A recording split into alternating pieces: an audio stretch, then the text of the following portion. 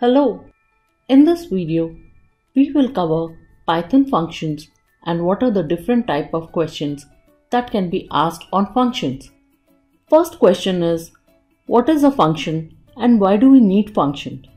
A function is a block of reusable code that runs only when it is called. You can pass data known as parameters into a function. A function can return data too. For example, you have been using len function. It takes in a data type and returns the length of it. Functions provide better modularity for your application and a high degree of code reuse as the same function can be called multiple times by your code. So what are different types of function in Python? There are three types of function in Python, built-in functions, functions defined in modules, and user-defined function. There are several useful built-in functions available in Python for which you need not import any library like len, max, min, etc. Then there are functions which are defined in modules which can be used only when the corresponding library is imported. Example math, random, etc. which you have used. And then there are user defined functions. These are the functions which can be defined by us. It can be a library too. So how do you define functions in Python? Functions are defined always above the point they are used. That's the reason we typically have import as first statement in our program. Function block begins with the keyword def followed by the function name and parenthesis. Any input parameters or arguments are placed within these parentheses. You can add multiple arguments separated by comma. The function definition ends with colon. The body of the function is indented. The function block ends where the indentation ends, like for if and for for statement. The statement return exits a function, optionally passing back data to the caller.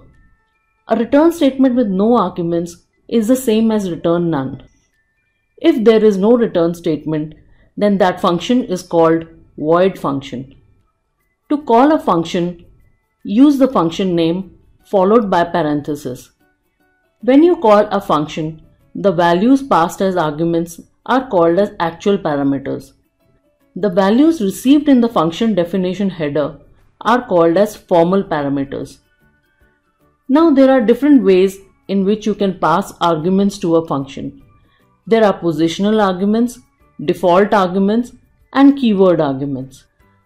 Now what are positional arguments? When function call statement must match the number and order of the arguments as defined in the function definition, it is called positional arguments. Like this function takes in three arguments so you need to give the three arguments in the same sequence. What are default arguments? A parameter having default value in the function header is known as default argument. Like here, we have specified a default value for interest, time. So if user does not pass this parameter, then by default, the program takes 7 and 1 respectively. Do note however all parameters appearing on right can have default values. Non-default arguments cannot follow default arguments. Next, let's see what are keyword arguments. Keyword arguments are the named arguments with assigned values being passed in the function call statement. So in this example, user can change the position of arguments as he's assigning them values by name. Another important topic is what is pass by value and pass by reference in Python. You have learned that there are immutable and mutable types in Python. If you pass an immutable type as parameter in a function and the function changes the value inside, then it is not reflected outside the function. However, if you pass a mutable type as parameter in the function and the function changes the value inside the function, then the change is reflected even outside the function. So immutable types are passed by value and mutable type are passed by reference in Python. Next question is what are local and global variables?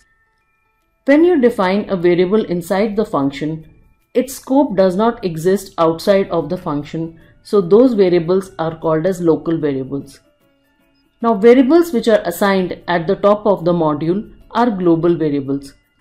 These variables are defined outside of all functions and can be used inside all blocks which are global.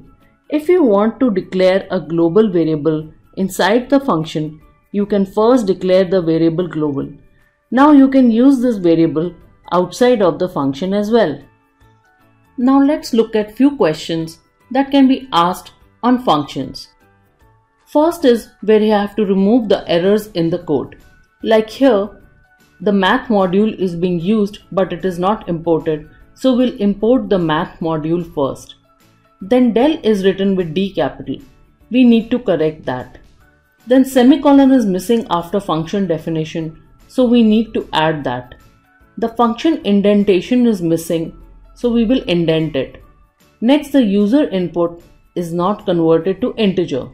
So we will use int function to convert it. Last in print, plus is used instead of comma, so we will correct it. This gives us the corrected code.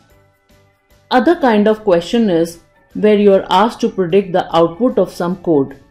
Like what is the output of below code? Here we see calc function is called with input parameter as 4.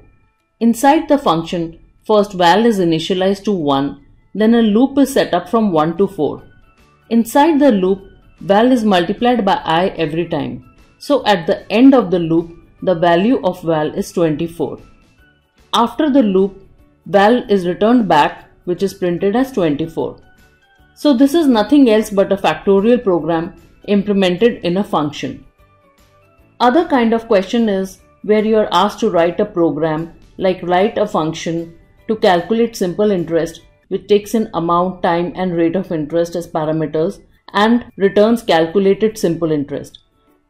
The default value for time is 1 year and rate is 7%. Here we will first write the function definition where we will give the default value for time and rate. Then inside the function, we will do the calculation to find out the interest. We will then use return statement to return the value. Below we will show how to call it in the main program. In first call, it will calculate with default value of 7% for rate of interest and time as 1 year. In second, it will only use default value of time period as 1 year. And in the third, all the three values are provided, so none of the default values are utilized. If you want to solve more problems like these, you can visit my website for a lot more questions on Python. Good luck!